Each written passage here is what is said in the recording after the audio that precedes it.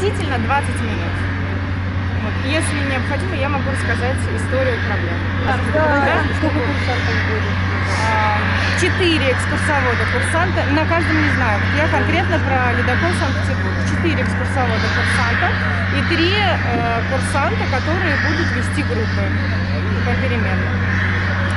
А, Ледокол Санкт-Петербург э, был заложен в 2006 году. В 2009 году он вошел в эксплуатацию и э, работает здесь, в северо-западном регионе, в Балтийском море. Иногда э, в летний период он уходит в север, северный ледовитый океан. А, Значит, ледокол оснащен пожаротушением, системами разными, а, оснащен вертолетной площадкой. А, Принимает вертолетная площадка вертолеты типа Х-32, э, но не базируется вертолет на площадке. Он может прилетать, да, находиться тут какое-то время, но это не базовая площадка. Значит, вертолеты используются э, для того, чтобы проводить научные исследования и чтобы разведывать обстановку э, пути. То есть, да, какой лед лучше, где лучше пройти.